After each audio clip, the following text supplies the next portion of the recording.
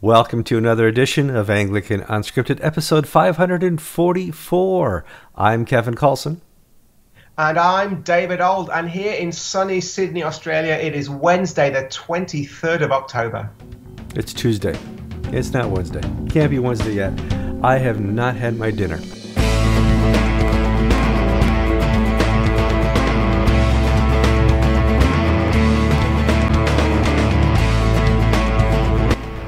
Okay, welcome to another show of Anglican Unscripted. Before we get too far along, please like the show on YouTube and Facebook.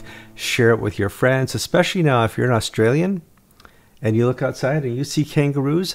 This episode is for you. This is a down under episode because we have David Ould.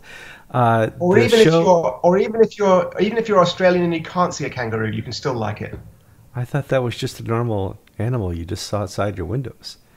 Most people think we just look outside our window and we see deer.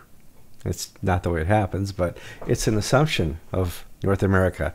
And please, the comments continue the show. Uh, once I click the off button, we go down and we read the comments. We comment the comments. We like the comments because that's where the, the comments. Yeah, we do. That's where the conversation continues. We're going to talk about a lot of stuff that's been happening down under. Uh, if you've been watching Anglican Ink. or you've been going to davidould.net, you know that uh, Archbishop Glenn Davies uh, gave a speech to General Synod this last week and basically said, listen, if you guys are going to cause trouble, are going to try and change doctrine, are going to try and change the rubrics of what's been happening down here in um, in this province, forget it. Just leave. Now, I'm saying a little yeah. more cursely than he did, but I thought, David, you could bring well, us up to, to, to, to, speed on how it really worked. Well, it was it was the diocesan synod of Sydney, not the general synod that is yet to come next year. We'll talk about that in a moment. It is mm-hmm. synod season here uh, in, in Australia. We're well uh, well into it, and at uh, about a week and a bit ago, at his last ever presidential address, he's retiring next year. Uh, Archbishop uh, Glenn Davies uh, spoke about episcopacy and, and, what it means and, and, and what the prayer book says about it and, and, and the Bible and so on. And of course, having said that, he could not fail but to address the issue we have at the moment, where we have bishops in the Anglican Church of Australia who are now openly seeking to change the long-established doctrine of the of the of the church on on marriage. Uh, and of course, the crisis moment here was the Diocese of Wangaratta passing up their synod a motion to allow the blessing of persons in uh, same-sex marriages. Uh, they ended up not quite having exactly the, the service that they thought they were going to have. It's gone off to our, our, our appeal court, the, the appellate tribunal. I think I've seen at least eight different questions that have been sent to the appellate tribunal about, about that issue. But it has it has kicked it off. It has moved us into a different phase. Uh, we've got a bishop now who's openly uh, rejected the agreements he's made with other bishops. Uh, we're looking at a similar motion this coming weekend at the Diocese of Newcastle. Uh, I'm hearing that the Diocese of Willochra also in its uh, its, its synod um, will be uh, will be considering something similar, although they're a much smaller diocese, and I've not, not yet uh, been able to see the, the business paper uh, to confirm that. And so it's all it's all coming to a head. And, and Archbishop Davies said, look, uh, if you're going to be a bishop and you make certain promises uh, we just expect you to keep them. The, the constitution of the Anglican Church is very clear on where our doctrine and, and, and our, our, forms of worship come from. They come from the 39 Articles, they, they're, they're, in, they're in the Book of Common Prayer, uh, all those sorts of things. Uh, none of the sort of the wishy-washy stuff that other provinces have where, you know, we recognize the 39 Articles as a historical document. No, they still are our standard. So if you're an authentic Australian Anglican, that's the position, position you should take. And Archbishop Davies just said, look, if you don't want to be an authentic Australian Anglican leader, and that's particularly what he was talking about the bishops, then go and start your own thing. Well, hold, hold on here. I'm looking at davidould.net and I see that there's an Anglican priest in Sydney who performed a same-sex blessing. Explain. Yes, that. so a couple of a couple of days ago we we broke, uh, and it's really interesting, Kevin. When I did the first of these uh, last year, I think earlier this year, and said, "Look, oh, here, here, it is." It was huge news. It's almost becoming de rigueur now.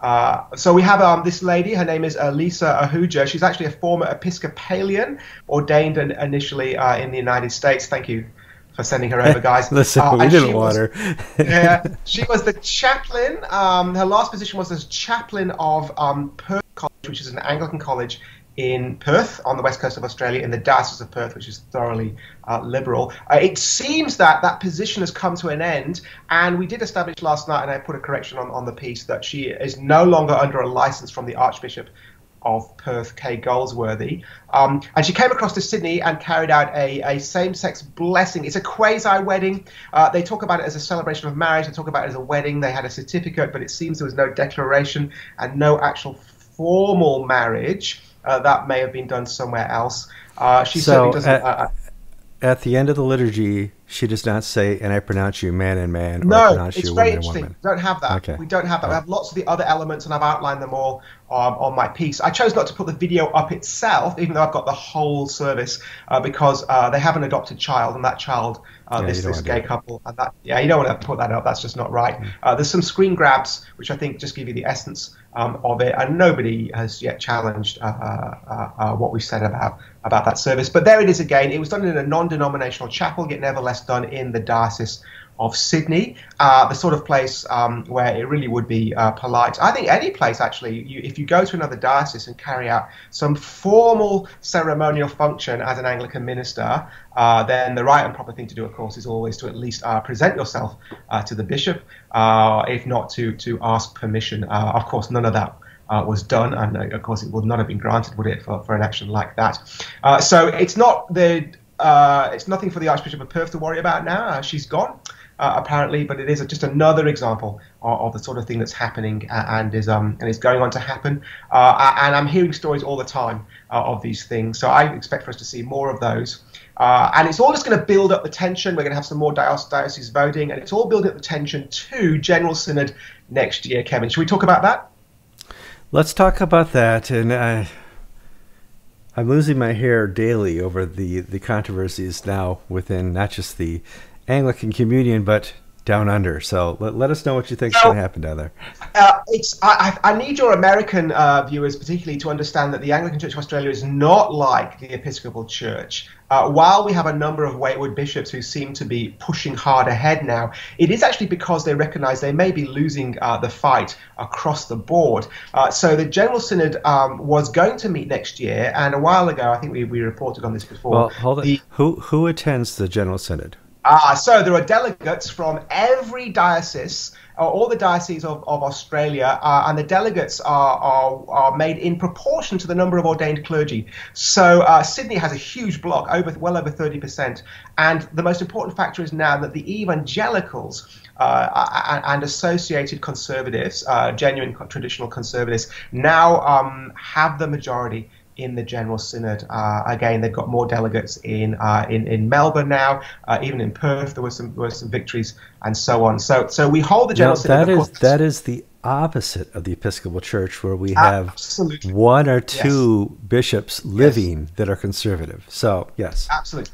So we've got this very interesting situation where you have a number of liberal bishops who want to push ahead with their with their revision, uh, revising agenda, and yet they've agreed together that the only way that they can actually do that formally is through the constitutional processes of the Anglican Church of Australia, which would be the General Synod, or failing that, an opinion from the Appellate Tribunal, which is kind of a, a side roundaways way of doing it. That's how they got women bishops through by asking a question of the Appellate Tribunal. Anyway, we, we all know it has to be done at General Synod, uh, and yet um, many people were fearful of that conversation because they knew they would lose and they knew that it would be a, a defining moment for the church. So the Standing Committee of the General Synod earlier this year decided to call special session, not a full session. A special session you just call when you want to do a particular piece of of uh, business, but but no more. So they called the special session for next year because uh, we do need to get some work done. We need to do the final legislation around uh, uh, child protection and all all those kinds of things.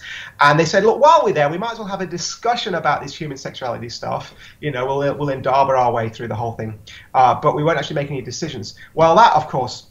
Uh, is just a way of avoiding the issue are not dealing with it. And what's happened is that uh, sufficient signatures have now been raised uh, from members of General Synod to also request a special session where we'll actually have motions on this. So we're going to have that next year at General Synod. Uh, I'll be there and we'll, we'll bring you guys with you.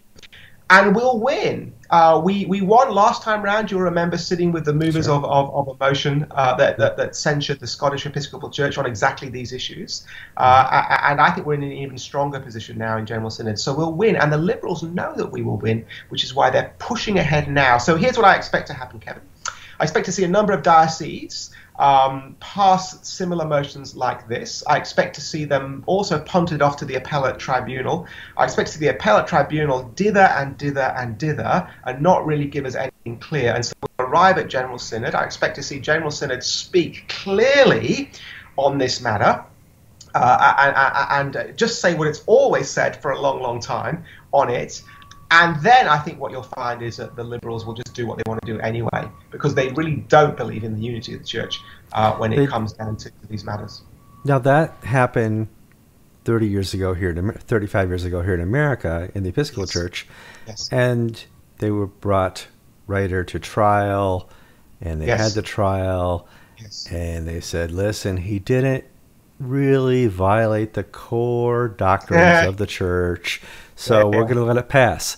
Letting that pass open the floodgates to uh, a secular liberal takeover of the Episcopal yes. Church. Yeah. Is that something that could happen in your Look, location? So, uh, what what I imagine would happen is that uh, if we got to past General Synod and we'd been really, really clear, it had been quite established, and, and a bishop went ahead anyway, uh, then um, I expect you'd see a bishop up in front of this special, what's called the Special Tribunal, which is effectively the disciplinary committee. Um, if the disciplinary committee actually disciplined them, that would be wonderful. If they didn't, which is entirely possible, you and I know how these things work. I, I think what you would at that point see is the conservatives, and there's sufficient of them to make this effective, just say, well, we have no confidence in the structures of the Anglican Church of Australia. We're not leaving the Anglican Church of Australia, but we have no confidence in it. There's always talk of the split all the time, but I think what you're going to see is, is the is the the localization of GAFCON or its equivalent in Australia. So I don't see the Diocese of Sydney at any point saying we are leaving the Anglican Church of Australia. In the same way that uh, many of us have said we haven't left the Anglican Communion. We're just meeting in a different way within the Anglican Communion. Uh, you'll see that the funds turned off, the tap for the funds uh, totally turned off. Uh, you'll see a refusal to meet uh, with these people, and you'll just let it all, all, all wither away. The Liberals in Australia do not have Trinity Wall Street to back to prop them up. Uh, um, and they're losing. Well, you don't know that they may call up and say, "Hey, they may call you, up. We know Trinity. You're in the middle of construction, but and you've got all those projects going on. Send us a couple hundred k. You know." But they're but they're aware they're aware of the shift. So, for example, in, in the Diocese of Melbourne at their synod last weekend, the Diocese of Melbourne also issued a, a motion effectively censuring Wangaratta, expressing sorrow about Wangaratta, uh, and also uh, expressing support for the disaffected um, Anglicans in New Zealand, where, of course, Jay Behan has just been consecrated uh, a bishop there of, of, the new diocese. And very interestingly enough, um, Craig D'Alton, who is an archdeacon in uh, Melbourne and a very prominent liberal, um, he's spoken out before on, on, on this matter. He wrote a blog piece on his blog where he said this is now an existential crisis for, for, for liberals. they're, they're recognizing it. Yeah.